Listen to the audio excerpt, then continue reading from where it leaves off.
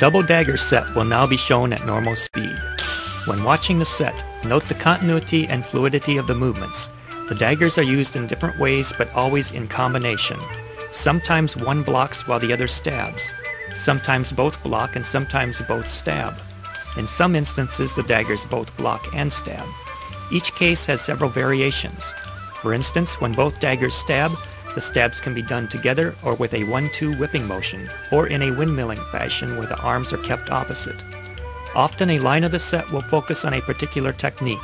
Note that the second line uses only horizontal stabs while the third line concentrates on vertical